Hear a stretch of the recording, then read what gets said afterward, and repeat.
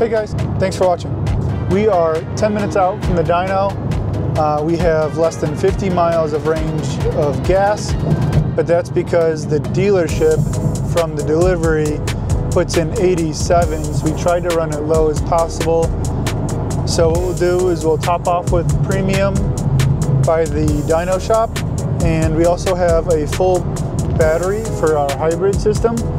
So let's get some fuel, let's strap down the car, and let's see what kind of power it makes.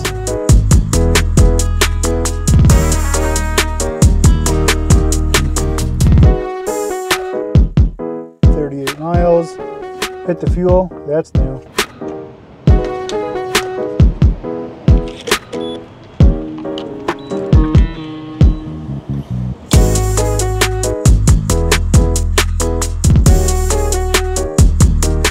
So we just got to Performance Eurowerks, thanks to the guys here. So let's get it in back, let's get it strapped down, and let's see what kind of numbers we can make.